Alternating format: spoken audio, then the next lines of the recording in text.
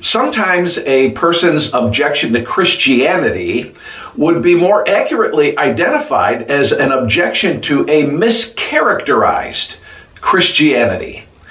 Uh, For example, uh, someone recently made it known to me that they have a problem with Christianity.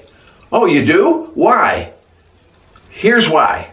Because, this is why they have a problem, because they have a problem with ministers who squeeze money out of people through guilt trips and manipulative tactics. And then they live, talk, talking about these ministers, they live lavish, opulent, extravagant lifestyles on, on what is basically ill gotten money.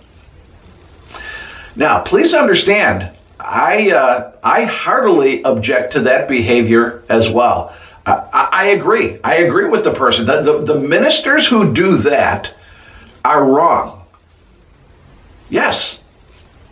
But here's my point that's not really an objection to Christianity. That is an objection, and it's a valid objection, by the way. That's an objection to con artists and swindlers and shysters. That's an objection to false teachers.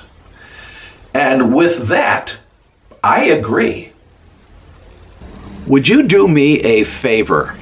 Would you please like and share this video and subscribe to this channel? That will help us be more effective at spreading the good news.